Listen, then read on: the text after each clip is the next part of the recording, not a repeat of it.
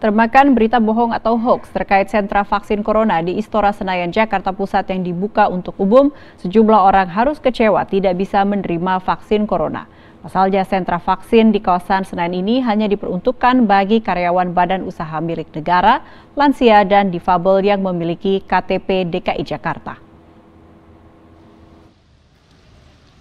Kementerian Badan Usaha Milik Negara BUMN bersama Kementerian Kesehatan dan Pemerintah Provinsi DKI Jakarta menyelenggarakan program sentra vaksin corona untuk warga lanjut usia atau lansia di Istora Senayan, Jakarta Pusat. Namun sentra vaksin ini tidak dibuka untuk umum. Vaksinasi hanya diperuntukkan untuk karyawan BUMN, lansia, dan difabel yang memiliki kartu tanda penduduk DKI Jakarta, serta mereka yang mendapatkan undangan untuk mengikuti vaksinasi. Sayangnya sejumlah kabar bohong atau hoax mewarnai kegiatan vaksinasi di kawasan Senayan ini.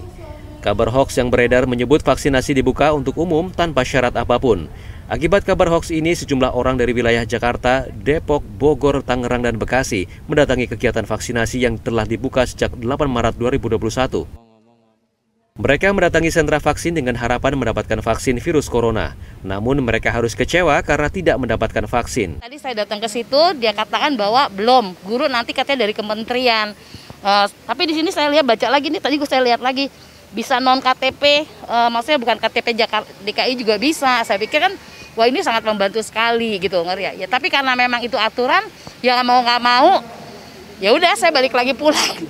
saya pikir saya berharap saya juga bisa divaksin katanya buat lansia dulu dan apa karyawan BUMN itu aja sih ya sempat sedikit kecewa gitu ngerti gak? Karena saya karena saya dapat informasi dari uh, grup kita ya di klaster kita di di perumahan kita itu infonya adalah bisa untuk uh, 40 tahun 50 sama lansia seperti itu. Tapi buktinya sekarang? Buktinya sekarang nggak ada, nggak bisa. Saya udah cek di situ, nggak bisa katanya.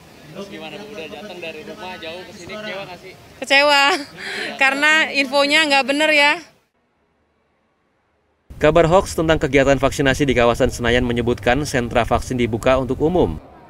Calon penerima vaksin dikatakan bisa dari daerah mana saja, tidak hanya untuk warga yang memiliki KTP DKI Jakarta saja.